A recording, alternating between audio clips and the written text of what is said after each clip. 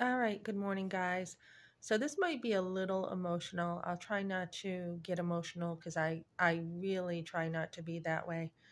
Um, I was taught not to be emotional growing up. Okay, I was taught you don't have time for your feelings all the time.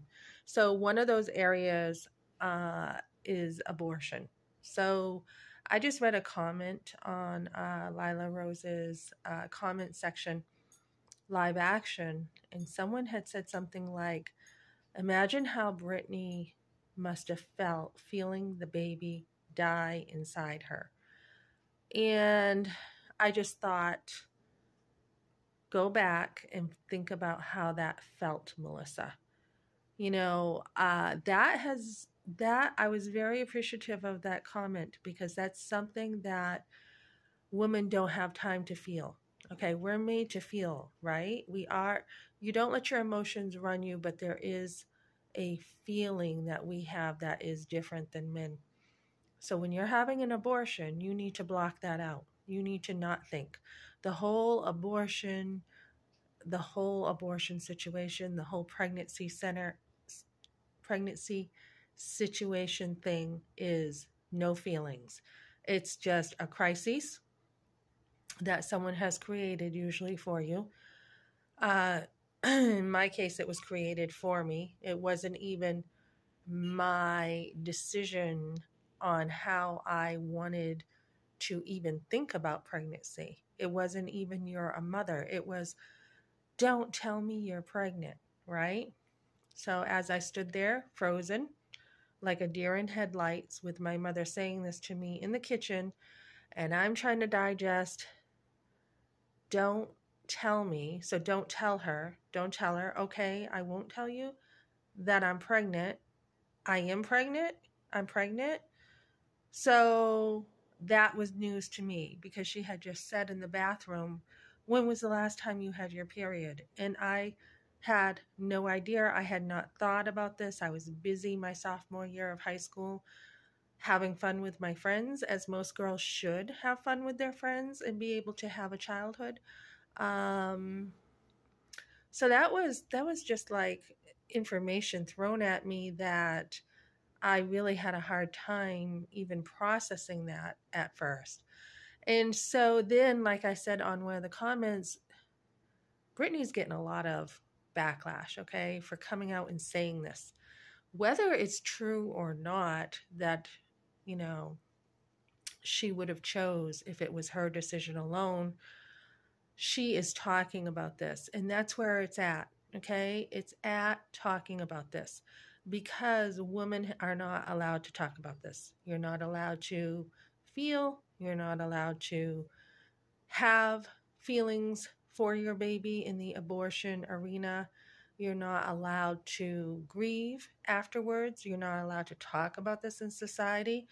You're not allowed to really even be like uh, yourself with this. I mean, even you're going to get knocked down. When I was when I was pregnant, okay, so I got knocked down quite a bit, and after a while, you get knocked down so much, you are what's the word?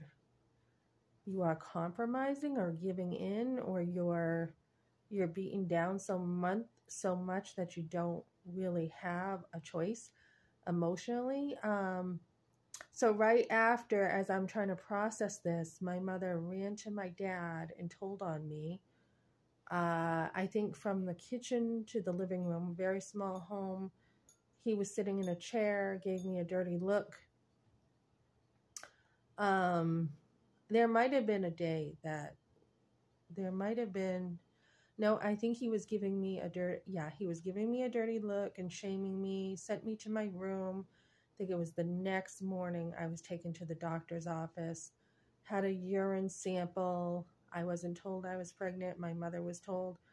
From there, there was no conversation. Um, I really didn't know what was going on. I was seriously busy with my friends.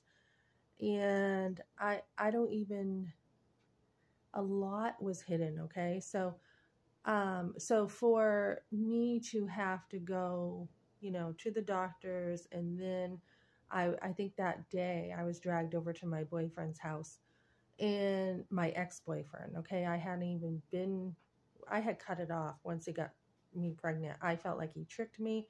I was trying to break up with him. He said the condom was okay.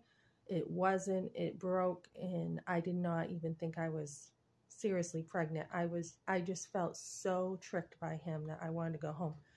So I had my mind made up, no question about it, that I did not want to be with him. We were done, no question about it.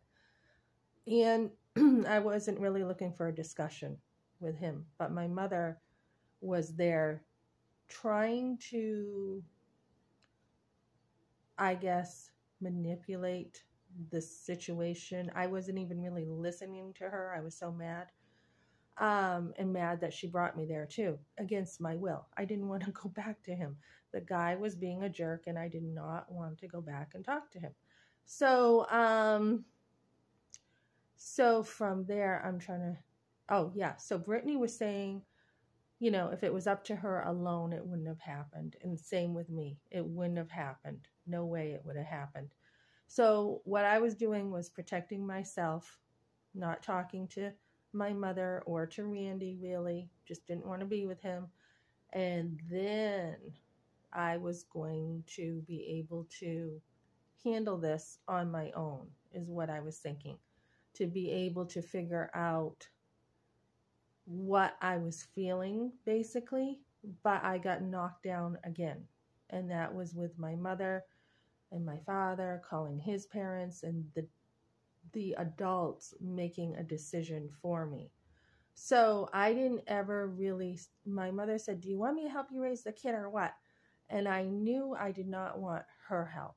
After in the relationship, all the intri- intricacies of that relationship and kind of being, I knew I did not want her help because she broke my trust already. But there were other things said. There was something in the background about my Aunt Kim having an abortion. The word for the first time abortion was introduced kind of in the background that way.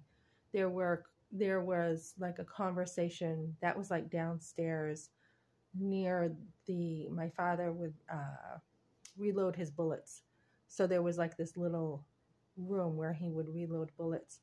And I was in my mother's room with her folding clothes or something. And Kim was there. Something about an abortion in the background. They weren't really talking to me. I just happened to hear the word. And not even knowing what it was, um, the conversation ended. Uh, I think it was the next day I was brought to the doctors. So, part two, hold on.